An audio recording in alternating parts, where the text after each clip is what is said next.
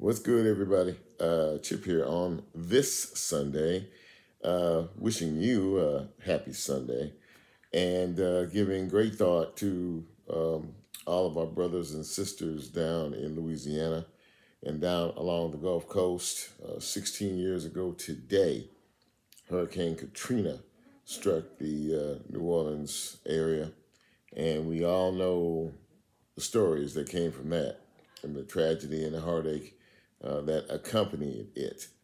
Um, this storm, Ida, uh, has uh, now hit the Gulf Coast with winds of 150 miles an hour. It is going to be catastrophic. It is going to be deadly. Uh, and it is going to leave a very, very big mark once again on the uh, New Orleans area and the state of Louisiana and Mississippi and probably Alabama for quite some time to come. So I'd ask uh, that each of you, and I include myself in that number, step outside ourselves today. And if you get a quiet moment, uh, say a prayer for all those uh, who are likely to be affected by this storm uh, economically and um, loss of life and uh, a lot of other things going on.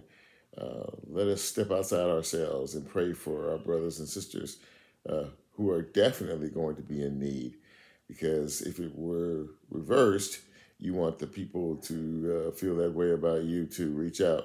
Um, and it's not about, you know, where you're sitting right now, where I'm sitting right now. We have power. Um, you know, we're in safe surroundings, but those folks are not. So let's uh, let, let's say a prayer for them. And uh, as I always uh, like to say, I pray for you every day. And uh, if you find it in your heart, um, I would like you to pray for me as well. So in the meantime, in between time, please be safe. Please be careful. And please watch out for, for others who can't watch out for themselves. We'll talk soon.